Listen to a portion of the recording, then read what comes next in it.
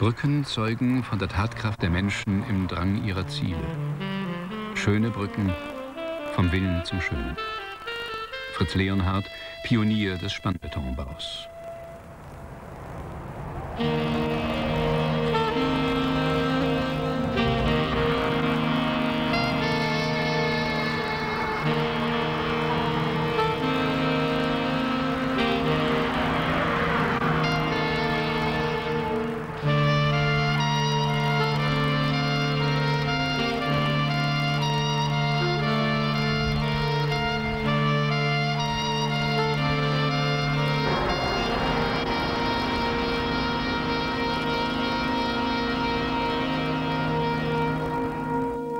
Dänemark besteht aus der Halbinsel Jütland und über 400 Inseln.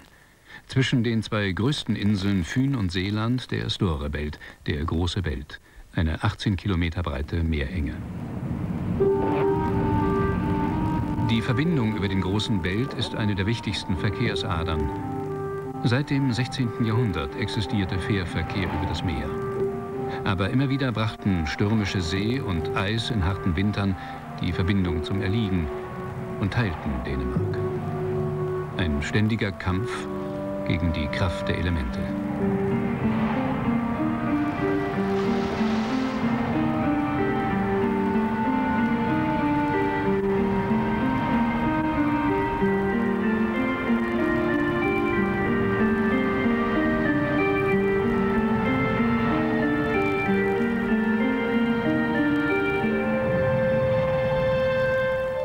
Kurz vor Ende des 20. Jahrhunderts haben Mensch und Technik gewonnen.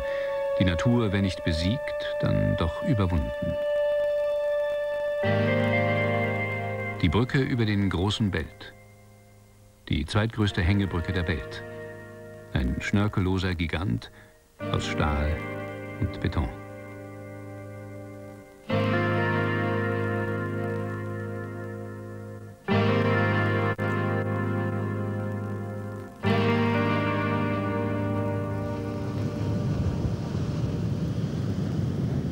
Verbindung über den großen Belt besteht aus drei Teilstücken. Die Westbrücke beginnt auf der Insel Fünen. 6611 Meter Gesamtlänge mit einer Krümmung entsprechend einem Kreis von 20 Kilometern Durchmesser. In der westlichen Fahrrinne stehen viele Pfeiler in 30 Metern Tiefe auf dem Meeresboden. Getrennte Brückenüberbauten bilden Fahrwege für Züge und Kraftfahrzeuge. Die Kombination aus Autobahn- und Eisenbahnbrücke endet in der geografischen Mitte des großen Belts, auf der Insel Spoy. Das kleine Eiland ist gleichzeitig Vermittler und Trennpunkt zwischen West- und Ostbrücke. Hier scheiden sich Straße und Schiene. Für über acht Kilometer setzt der Zug seinen Weg unter dem Meeresgrund fort. Die östliche Autobahnbrücke führt in gerader Linie nach Seeland. Gut 4000 Meter Länge nehmen die Anschlussfelder ans Breuel und an das östliche Brückenende ein. Dazwischen das Wahrzeichen, die Hängebrücke mit einer Gesamtlänge von 2700 Metern. Am Ostende der Brücke auf der Insel Seeland liegt Corseur. Der Hafen einer der Corseur und die Region lebten gut mit und von dem Fährbetrieb zwischen Fünen und Seeland, West- und Ostdänemark. Zuletzt fanden hier fast 1500 Menschen Beschäftigung im Fährverkehr.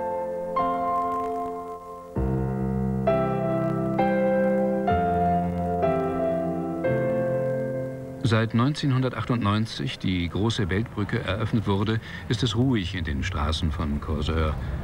Die meisten Menschen haben inzwischen neue Arbeit gefunden, der Großteil aber in anderen Hafenstädten Dänemarks. Mit staatlichen Programmen wurde die Region sozial verträglich in die Zeit nach den Fähren gebracht. Seither gibt es im Rathaus von Corseur eine neue Abteilung Stadtentwicklung. Drei Jahre ist die große Beltbrücke jetzt in Betrieb. Seither haben wir eine Reihe von positiven Entwicklungen für Korsør bemerkt. Im Bewusstsein der Bevölkerung hat sich etwas getan. Man ist offener für Neues, für Veränderungen. Außerdem zeigen Unternehmen Interesse an unserer Stadt. Man hat erkannt, dass Korsør im Vergleich zum Rest des Landes jetzt große logistische Vorteile hat und ein guter Standort für Unternehmen ist. Seit der Stilllegung des Fährbetriebs fehlt der Stadt die Lebensader. Ersatz wird gesucht. Ein Hafen für Kreuzfahrtschiffe ist im Gespräch, ein großes Vorhaben. Ein anderer Plan sieht ein riesiges Kongresszentrum vor, dort wo früher Autos Schlange vor den Fähren standen. Noch hat keiner der Entwürfe konkrete Gestalt angenommen. Seit der Bau der Brücke vor über 15 Jahren per Gesetz beschlossen wurde, hat man kaum noch in die Anlagen investiert.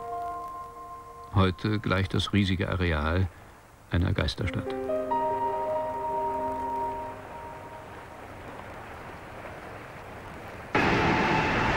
Der neue Verkehrsweg hat einen entscheidenden Vorteil. Während die Fähren eineinhalb Stunden und länger brauchten, dauert die Zugfahrt über den großen Belt nur sieben Minuten. Etwa 15 Minuten benötigen Autos für die Überfahrt. Mühelos lassen sich nun die 18 Kilometer mehr überwinden, nahezu unabhängig von Wetter und Tages- oder Jahreszeit. Eine neue Freiheit. Diese Freiheit macht die Brücke zum Hoffnungsträger. Eine neue Perspektive auch für Nyborg, die Hafenstadt am westlichen Brückenende. Der er mange ting, der har ændret sig her Nyborg. Vieles hat sich hier verändert. Nyborg ist vor allem keine Transitstadt mehr zwischen Ost- und Westdänemark, sondern auf dem Weg zu einer Handelsstadt, wie viele andere Städte auch.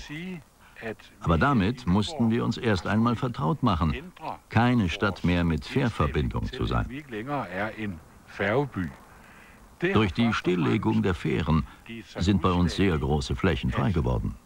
Die gilt es jetzt zu bebauen. Wir haben en række meget store områder, som nu skal til at bebygges.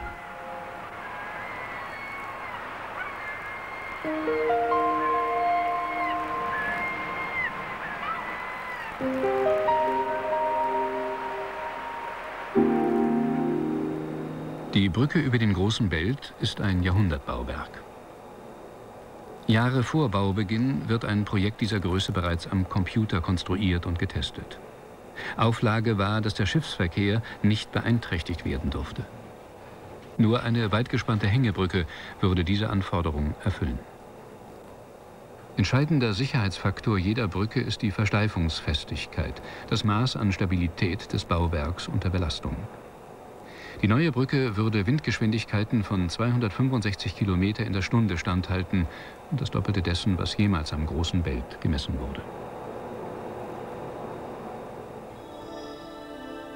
Der Bau einer Brücke dieser Dimension ist nicht nur eine technische, sondern auch eine logistische Herausforderung. Zeitweise waren über 4000 Leute im Zusammenhang mit dem Bau beschäftigt. Experten aus fünf europäischen Ländern waren an Planung und Ausführung beteiligt. Die Brücke über den großen Belt ist eine Brücke der Superlative. Mit 254 Metern Höhe sind die Pylonen der Hängebrücke die höchsten Bauwerke Dänemarks.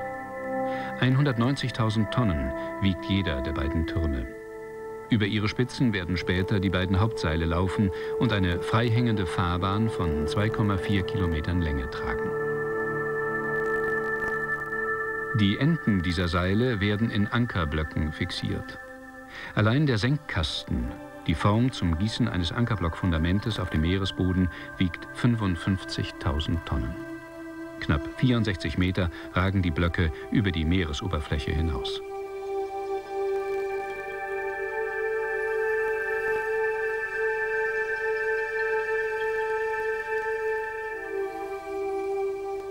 »35 Millionen Tonnen Meeresboden werden für den Bau bewegt.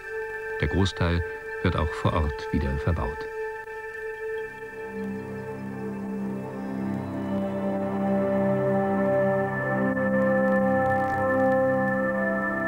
Wenn Pylone und Anker stehen, wird der Hauptgurt befestigt. Dafür muss zunächst ein Catwalk, eine Arbeitsplattform zwischen den Pylonen installiert werden. Der Catwalk lässt die grazile Erscheinung der fertigen Brücke ahnen.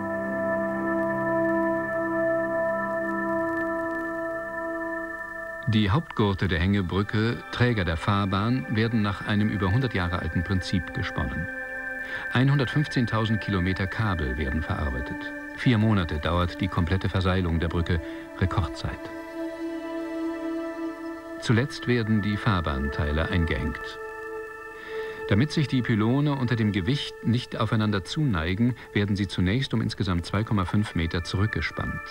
Mit dem Einhängen der Fahrbahnteile richten sie sich wieder in senkrechter Endposition ein. Zwei Monate dauert allein diese Prozedur. Nach einer Bauzeit von neun Jahren ist die Brücke über den großen Belt fertiggestellt. Ein Monument war entstanden, ein neues Wahrzeichen für Dänemark. Wie Tore zum Himmel ragen seine Türme auf. Gewaltig, ehrfurchteinflößend. Aber erst der Blick von der Spitze der Pylonentürme macht die Größe und Erhabenheit des Bauwerks auch spürbar. Hier lässt sich der Triumph der Technik erleben. Nicht viele Menschen haben diese Erfahrung gemacht. Für Bjarne Kilde war sie Alltag. Als leitender Ingenieur an der Riesenbaustelle war er für die Hängebrücke zuständig, den spektakulärsten Abschnitt des Bauwerks.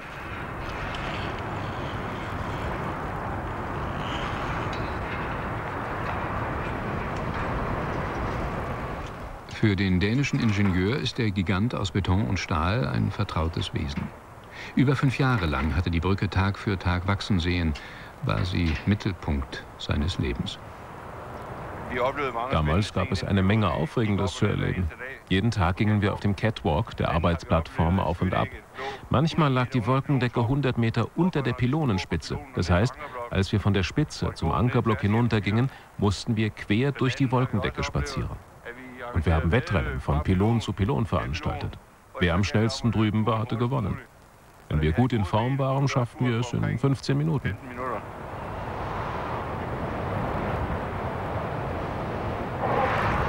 Die beiden Hauptgurte, Träger des Gewichts der Fahrbahn, sind jeweils drei Kilometer lang und 85 Zentimeter stark. Zu beiden Seiten des Pylons verschwinden sie in den Ankerblöcken.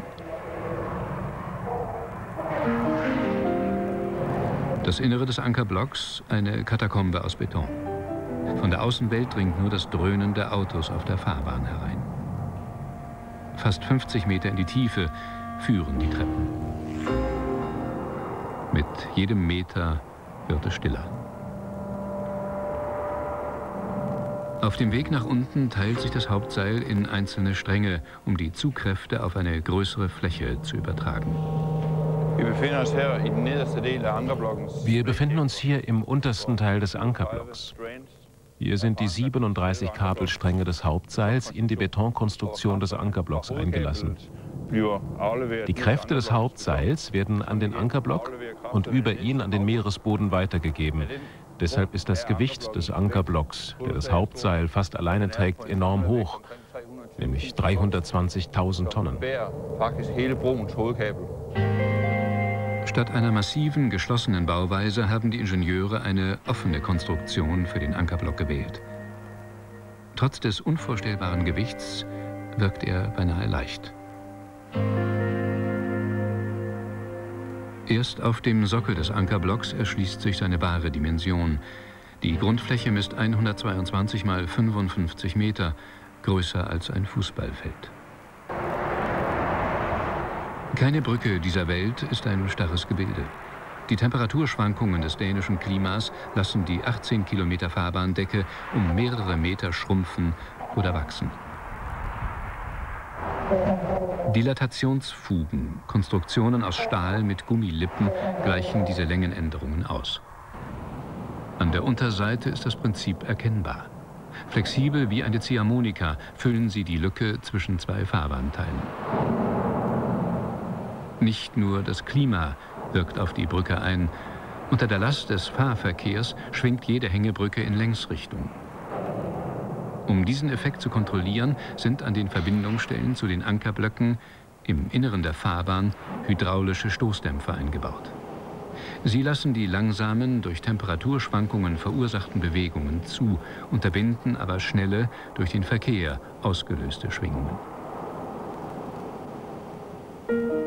Der Brückenträger oder Verstärkungsträger, wie er bei Hängebrücken genannt wird, 38 Meter breit, 4 Meter hoch, ein endloser Tunnel aus 80.000 Tonnen Stahl.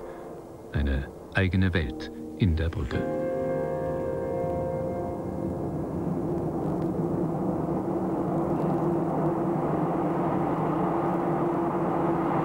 Hier im Brückenträger sind die Hängegurte, die Verbindung zwischen Fahrbahn und Hauptseilen fixiert. Genau in der Mitte der Hängebrücke hat das Hauptseil Kontakt zur Fahrbahn. Extra stark konstruierte Seilklemmen verbinden das Seil mit dem Brückenträger. Auch sie dienen zur Stabilisierung des freischwebenden Fahrbahnteils. Sicherheit für die Brücke heißt aber auch eine Überwachung des Betriebs. In zwei Kilometern Entfernung am östlichen Brückenende liegt die Mautstelle mit dem Betriebsgebäude.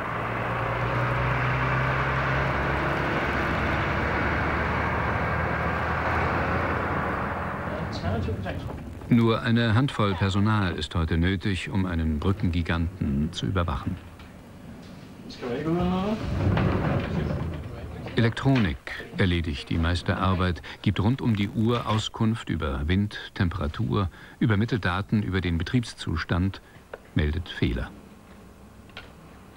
Nicht zuletzt wird hier auch der Verkehr überwacht und an der Mautstelle die Gebühr entrichtet. Mancher Autofahrer könnte darauf verzichten. Ich finde, die Gebühren sind zu hoch. Die Überfahrt sollte kostenlos sein, wie bei allen Brücken Dänemarks. Obwohl die Mautgebühr für einen Pkw umgerechnet 35 Euro beträgt, übersteigt der Ansturm die Erwartungen. Die Zahl der Passagen zwischen West und Ost hat sich mit über 20.000 Fahrzeugen täglich mehr als verdoppelt. Rund 2,8 Milliarden Euro hat die Verbindung über den großen Belt gekostet. Veranschlagt war, dass die Straßenbrücke nach 14 Jahren refinanziert sein sollte, die Bahnlinie nach 30 Jahren. Schon nach drei Jahren Betrieb ist abzusehen, dass beides bereits vorher der Fall sein wird. Die Betreiber können zufrieden sein, die Brücke ist ein wirtschaftlicher Erfolg.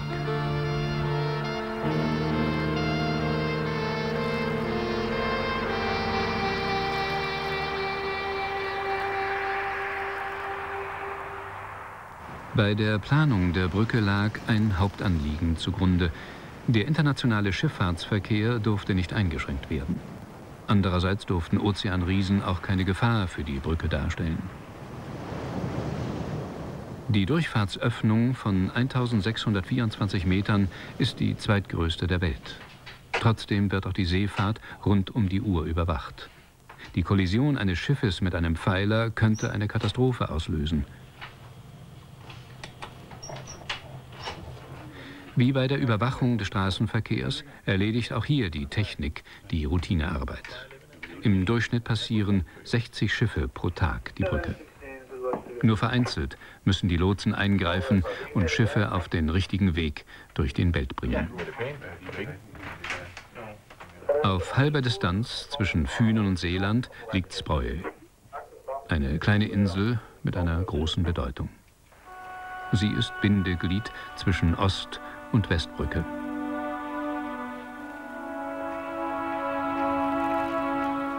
Bevor der Bau begann, war Kent Lohmann jahrelang Verwalter des winzigen Eilands. Zusammen mit seiner Frau hatte er es bewohnt, bewirtschaftet, Natur- und Gebäudeanlagen gepflegt. Kaum einer kennt Spreu so gut wie er. Seit der große Belt überquert wird, war die Insel Nothafen, wenn Eis und Schnee die Passage unmöglich machten. Jahrhundertelang eine Idylle, nahezu unberührt vom Rest der Welt. Mit der Abgeschiedenheit verbindet sich aber auch ein düsteres Kapitel. Jahrzehntelang wurde hier ein Kinderheim mit Quarantänestation betrieben, das erst in den 70er Jahren aufgrund öffentlicher Proteste geschlossen wurde. Als Lohmann seinen Verwalterjob antrat, war die Insel unbewohnt. Ja, Hanna og jeg, vi kom til øen her Hanne und ich kamen 1986 auf die Insel. Die ersten drei bis dreieinhalb Jahre vor Baubeginn hatten wir hier die schönste Zeit, die zwei Menschen überhaupt miteinander verbringen können. Wir lebten hier ganz alleine. Die einzige Störung war das Tuckern der vorbeifahrenden Fähren. Mit dem Bau der Brücke mussten Lohmann und seine Frau ihre Wahlheimat verlassen. Als persönliche Liebeserklärung an die Insel haben sie einen Walzer verfasst. Når solen går ned i en rødfarve glans, ja, så ved man, at tiden den siger Sankt Hans. Og lykkeligt danser man ud i en vals. Alle fire lægger armen om drengens hals. En sprogøvals danses til månen man ser. Og så er det bestemt det bedårende sker. Man hører de toner, der giver vibrationer. Og pigen hun smiler, mens månen ser til til. Man hører de toner, der giver vibrationer, og pigen hun smiler, mens månen ser til. Vieles hat sich verändert, seit die Brücke gebaut wurde. Spreu ist nicht mehr das ruhige, abgeschlossene Eiland, das es einst war. Die kleine Insel ein schmerzliches, aber notwendiges Opfer für die Verbindung zweier großer Inseln, zweier Landeshälften.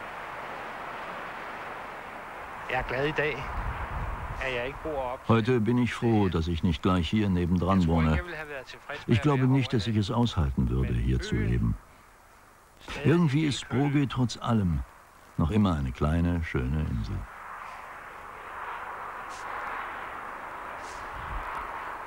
Naja, das ist alles, was es dazu zu sagen gibt. Noch bevor die Autobahnbrücke eröffnet wurde, ging die Eisenbahnverbindung in Betrieb. Am Ostende der Insel führt der Zugtunnel ins Erdreich.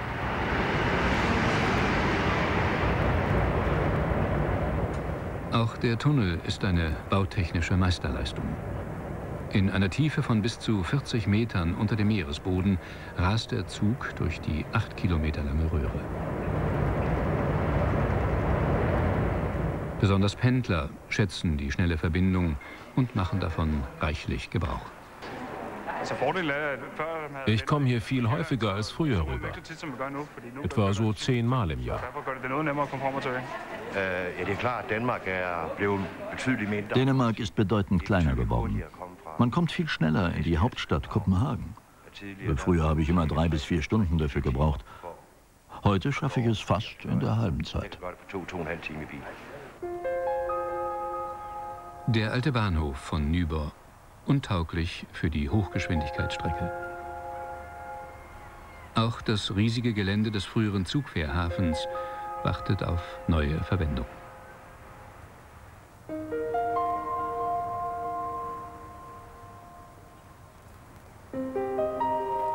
Pläne gibt es genug. Eine luxuriöse Wohn- und Bürostadt an den alten Kaimauern vielleicht auch ein neues Venedig des Nordens. Aber seit vor drei Jahren die Brücke in Betrieb ging, hat sich außer Stilllegung nichts getan.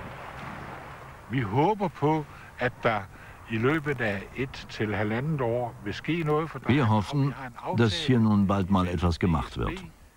Es gibt einen Vertrag zwischen der dänischen Staatsbahn, der das Gelände gehört, einer Entwicklungsfirma und der Gemeinde Nyborg der noch ein Jahr lang läuft. Also vermute ich, dass man bald mit den ersten Bauarbeiten beginnen wird. Falls das nicht passiert, dann bleibt uns nichts anderes übrig, als im nächsten Jahr wieder von vorne anzufangen. Jahrzehntelang wurde die Frage Fähre oder Brücke diskutiert. Im Hafen von Nibor liegt die Confrédéric. Früher Glanzstück einer stolzen Fährflotte, heute ein Museumsschiff. Äh, Wenn man auf die Fähre gekommen war, entspannte man sich erstmal. Oft begegnete man Bekannten, äh, traf Verabredungen, machte Geschäfte bei einer Tasse Kaffee oder einem Bier. Viele gute Ideen sind hier entstanden, weil man einfach die Zeit hatte. Man saß da, traf jemanden oder lernte jemanden kennen. Sehr viele Menschen erinnern sich noch gerne daran, aber das gibt's heute nicht mehr. Das ist Nostalgie. Man muss allerdings zugeben, dass die Brücke ein Stück Bequemlichkeit ist, auf die niemand mehr verzichten will. Auch diejenigen nicht, die früher so dagegen waren. Auch sie, denke ich, halten die Lösung für zeitgemäß.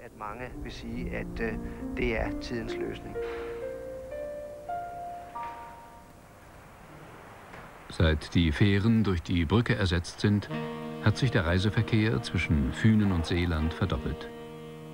Der große Belt trennt nicht mehr die zwei Hälften Dänemarks. Er verbindet sie.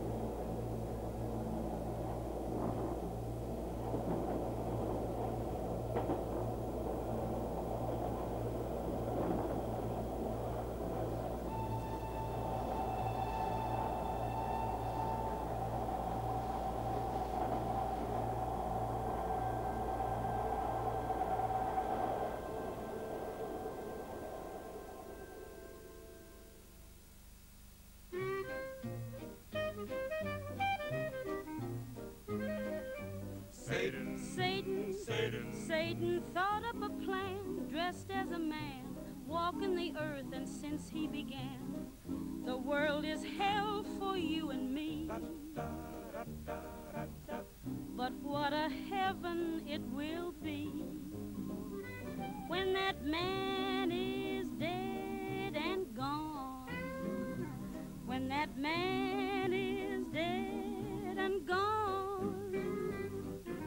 Some fine day the news will flash Satan with a small mustache is asleep beneath the lawn. When that man is dead and gone. He's got to go, he's got to go. We have a date, and don't be late. Come on now, we're gonna celebrate. That's the truth, we gotta seal his fate. He's the guy that's spreading hate. His account his chances are in pawn. Some fine day the news will flash. Satan with a small mustache is asleep beneath the lawn. When that man is dead and what a day to wake up on.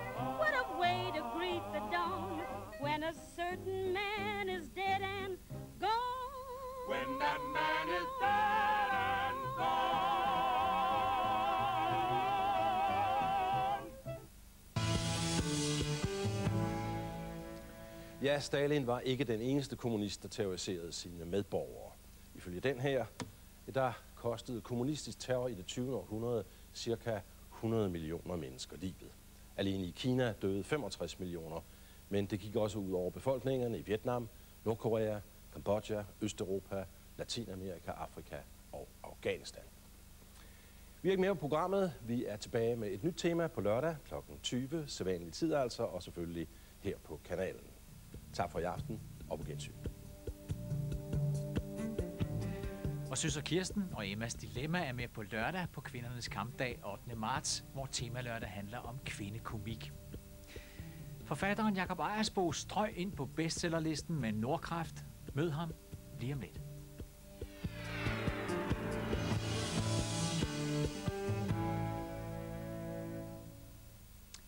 Jakob Ejersbo viser rundt i Aalborg og fortæller om sex, drugs and rock and roll lige om et øjeblik.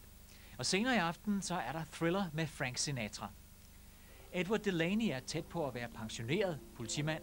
En øksemorder huserer i New York, og Edward slendrer hen til gerningsstedet, hvor morderens seneste offer blev slået ned.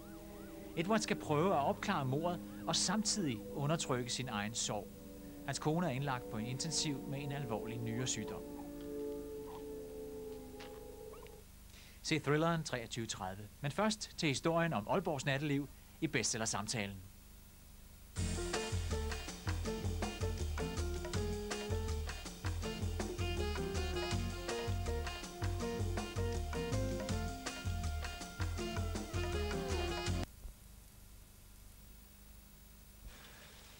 Man kan jo også hælde så hurtigt, så den ikke kan nå det.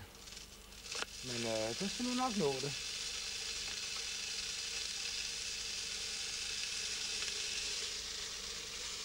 Og som sagt, når det her det er opløst, så er det altså bare væk. Det her, det er jo ikke noget, jeg bare siger. Jeg har selvfølgelig afprøvet det. Her i, der er blandingen. Det her, det er godt nok ikke rabatten, men alligevel et godt tricks. I sparer en forfærdelig masse penge. Jeg går lige ud og prøver. Herude, der er altså koldt. Og det er jo grunden til, at der er en forfærdelig masse is herude. Men det her, det klarer altså problemet. Sådan en sprayflaske, og så lige ud på bilvinduet. Så, så er isen altså væk lynhurtigt. Det er nøjagtigt det samme, der er i isfjerneren. Det her, det er bare fem gange billigere. Det er en rigtig god idé. Tak for i dag, og gensyn næste mandag.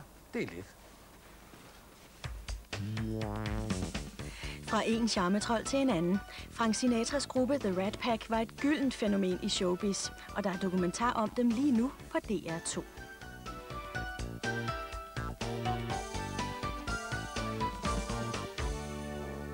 Du vælger den billige? Ja, altså... Øhm... Det er ikke til at vide, hvad man skal vælge, når produkterne er ens, men i forskellig indpakning og til forskellig pris. Rene ord for pengene om et øjeblik. Fire film med Tom Cruise. No lawyer has ever left your law firm alive. Why can't I just leave? That's what Kaczynski and Hodges were trying to do. Who is this guy? Raymond is your brother. Fire film med ekstra godt bid i. Sure coffin, my love. Enjoy it. DR1 og DR2 viser fire film med Tom Cruise torsdag til søndag. DR's nyhedsteam har et nyt tilbud til dig. Kontant. Et forbrugerprogram, der undersøger, opklarer og afdækker. Lige nu lover de der besparelser på tusindvis af kroner, men udsalget er fup. Se med, når Kontant afslører, hvordan du bliver snydt, når du går på udsalg. Kontant. I morgen 21.25 i Nyhedsteam. Til den kritiske forbruger, der ikke finder sig i hvad som helst. Magasinprogrammerne har fået nye sendedage. Mandag er Steffen Gram stadig klar med Horisont, men tirsdag det nye forbrugerprogram Kontant. Kurt Strand og profilen er rykket til onsdag, og torsdag Pengemagasinet med Mogens Rubenstein. Det er 21.25 i Nyhedsteam her på DR1. Her og nu på DR1 er der også forbrugerstof. Vi vender nu opmærksomheden mod masser af produkter og priser. Kent Nikolajsen er klar med rene ord for pengene.